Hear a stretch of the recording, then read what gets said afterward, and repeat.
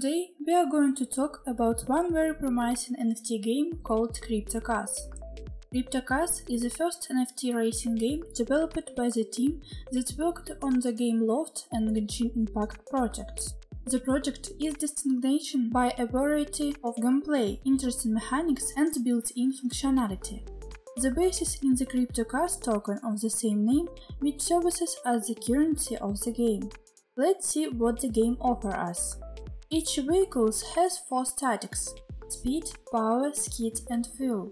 As a CryptoCars player, your task is to win game PvP PvC racing in order to gain experience points and materials.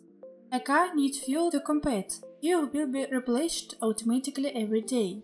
When you have accumulated enough experience points, you can use the materials to level up your vehicle. Materials and cars can be sold in the market. Players can challenge each other by participating in race of 2, 5 and 10 players.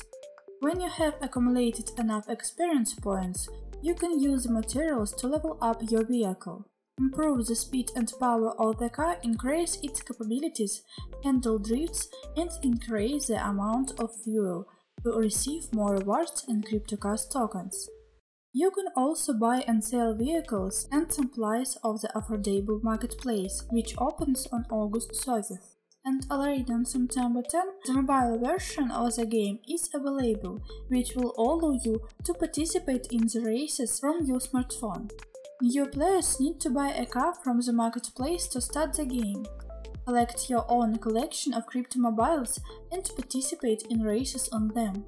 If you wish, you can sell materials and cars on the markets, thereby receiving tokens. Sometimes the developers arrange various promotions and trade the prize fund. For example, from 25 to 26 August, the prize pool increased by 30%. Such promotions are not uncommon, so stay tuned. Let's talk about numbers. The total token supply on the market is 100 million. The distribution of tokens is as follows. 20% allocated for in-game achievements, 30% rates and rewards, 9% ecosystem fund, 19% will stay with the team, 10% will go to advisors, 8% allocated for public sale, and 4% for pre-sale. CryptoCars uses BigchainDB for transparency of all events and transactions in CryptoCars this allows you to get rid of transaction fees, ensure compliance with all the unique characteristics of the block. CryptoCars is a promising project whose equity capital research 480% per annum. Now is the time to join the project and start marketing money.